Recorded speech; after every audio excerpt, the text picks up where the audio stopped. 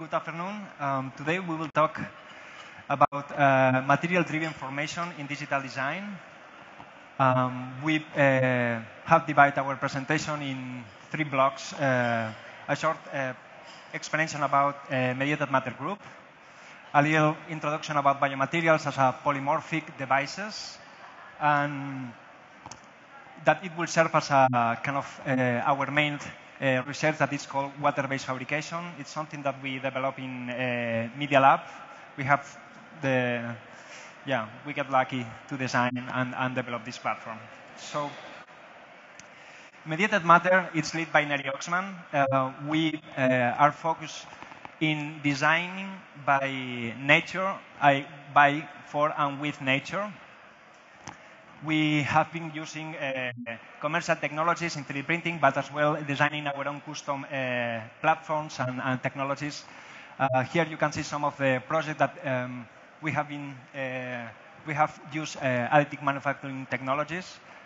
The Silk Pavilion, for example, uh, the water-based that later we will talk a little more, as well as um, augmented uh, wearables using uh, yeah, um, 3D printed technology and, and, biology itself, and glass transparent 3D printing.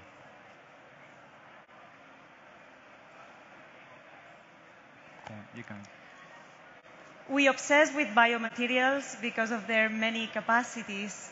And uh, I recently joined the Silk Lab at Tufts, and I'm the only designer in a biomedical engineering lab.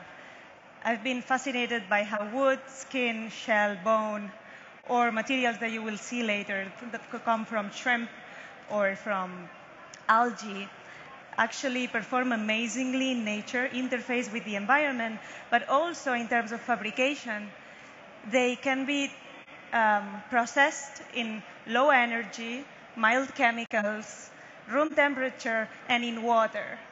So this is something I've experienced firsthand when transforming silk cocoons into silk solution by using mostly almost cooking techniques. Of course, uh, have been researched for almost 10 years, but have come to this very simple recipe that we all can now understand and use those silk solutions can be transformed into extremely technical materials and devices. It's in water, it's low energy, it's mild conditions, but it's transformed into these amazing materials and devices from uh, microneedles, resorbable electronics, um, uh, credit card-like vaccines that we can bring in our pockets. It's, it's really fascinating. Jorge and I have been obsessing and specializing lately in looking at pharmaceutical and medical materials and bringing them into consumer goods and architectural structures. These are some uh, examples of the Silk Lab where I'm looking at uh, jewelry that can be edible or that has a smell or that has a color and that we can make playful and, and use it for education of children and high schoolers. Even more deeply in the next project that we will present for the next 10 minutes, uh, we worked on building a water-based fabrication platform, a platform that can work with all these biomaterials that are based in water and where we can digitally tune them in incredible ways. So yeah, this uh, platform started with uh, this fascination of water, how water assembled uh, simple building blocks in more uh, complex structure in nature uh, we start to search which materials can be uh, kind of uh, perfect for our purpose. We we start with chitin and cellulose. Both uh, can perform like uh, man-made uh, ceramics, but they still can storage quite quite large amounts of water. We, as uh, said, I think um, we start like searching for how they um, in bio in pharmaceutical and medical applications they use for make this tissue scaffolding as well as uh, drug deliveries. And we took this challenge to try to transform all of these uh, uh, materials and uh, technologies for, for uh, more product-based and architectural uh, systems. We start with the pipette. We, we transition from the pipette to the petri dish, uh, and at the end we design and develop this platform that we can use with a robotic uh, arm uh, uh, the chitin that we use is uh, coming from a byproduct of fish industry. It's quite, uh, yeah, it's a kind of uh, sustainable product. We uh, managed to transform from chitin to um, chitosan, something that can be extruded, and we print films that can perform quite impressive. they, they can they, they take 40 megapascals in tensile strength. And this is uh, kind of one of the final products, uh, kind of more in large scale that we uh, yeah, design at the end. In order to make that, we developed this platform, and we had help from uh, our advisor, Neri Oxman, as well as our colleagues at the lab, but mostly from physicists, chemists, and biologists at Harvard University who know these materials from a long time ago. So we started by measuring our gels, understanding how they perform, and looking at which criteria we had to ask to our platform in terms of shear stress, viscosity, um, rheology. So our first intuition was to make this large syringe system that's actuated by motors and mounted into a very precise positioning system. Um, quickly, we looked into nozzle designs. Can we mix up the nozzle, all these gels together? Can we extrude them in parallel fashion? How big, how small can these outlets be? And our first intuition was, okay, this is a material that makes insect wings, insect shells. Can we make a dragonfly wing by 3D printing our gels? And we made that half meter dragonfly wing. But if you look closely, you'll see that nature would never make this continuous thickness of struts and cells. It would be reinforced where it needs to be. So we obsessed in making our technology aware and capable of doing that. So we wanted to, and we achieved that kind of structure where thickness is graded along the structure. And in, this is in the wet state, this is in the dry state. We had this organization that reminds of insect wings and venations of leaves. So in order to do that, we had to work with a pneumatic system where we could tune the extrusion force at every millimeter along the trajectory of our robotic arm. Um, the way we achieve hierarchy and shape is not by designing the shape, but actually designing the extrusion uh, geometries. We work with different thicknesses of extrusion, different pressures of extrusion, as well as with different stiffnesses of material. It's the same material, shrimp, water, but in different concentrations. And that's something that designers, at least us, appreciate very much, that when we look at the structure and we see color gradient, we are looking at the stiffness gradient. We understand structure just by looking at it. So the way this works, it's a, bi a biomaterial, water-based material. So as it loses water, as it dries, it will find a shape. And by giving it hierarchy, we can determine which is the final shape. Here you, you'll see everything in one, which is easier to understand. These are the crustaceans and insects that carry chitin in nature. The, what we do is we mix chitin or chitosan with water and vinegar, and we make our gels. The more shrimp we add to the mix, the stiffer this gel is going to be. We mount them into these huge syringes that can hook into a pneumatic system in the robotic arm.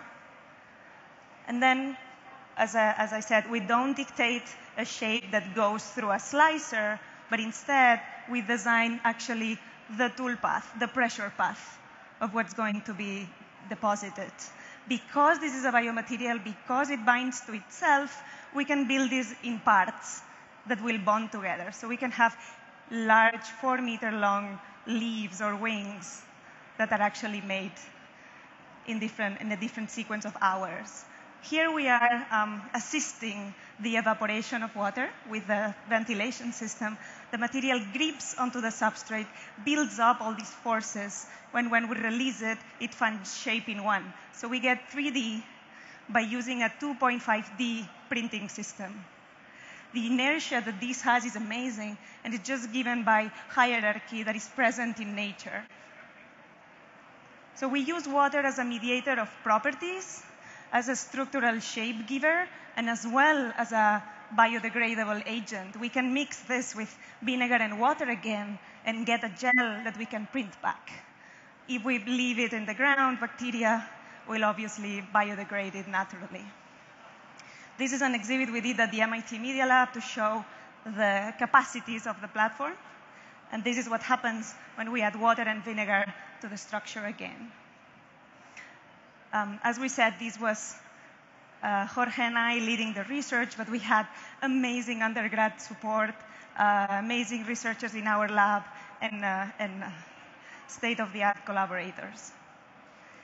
More in detail, what something that fascinates us is the way these structures are able to encompass structure and skin in the same material system. So you look at this and you see tensile membranes, but also structural beams. And it's the same material, just different concentrations.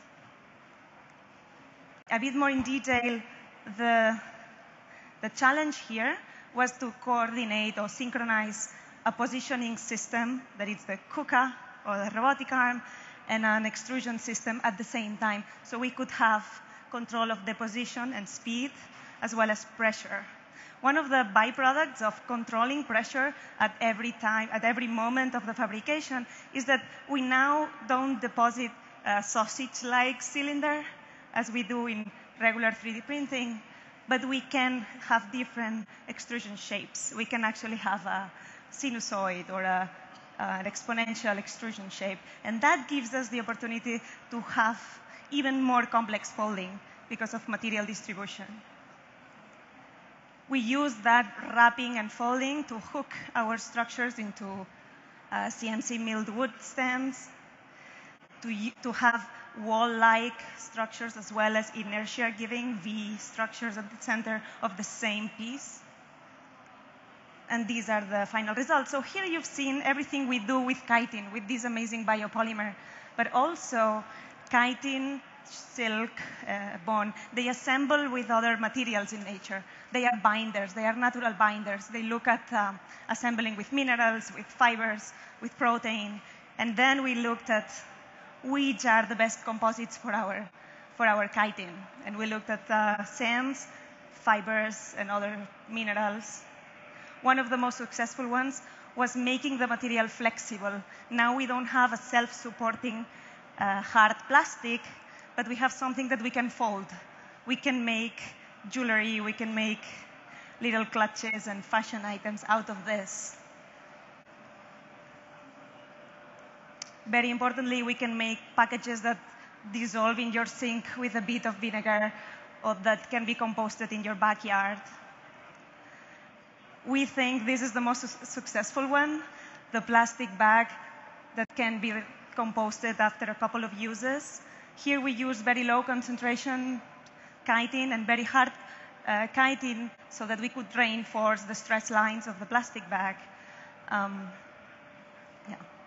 Another thing we can do, because we control this platform, is to print um, discontinuously.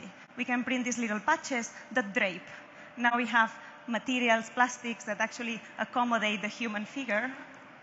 This is the way we do it, and these, uh, as, as Thomas explained, made us think that all these materials support life in a very fundamental way. So what happens if we give our little pockets of water actually bacteria and life? This is something very uh, initial. Jorge is looking at developing this further at the, at the Media Lab.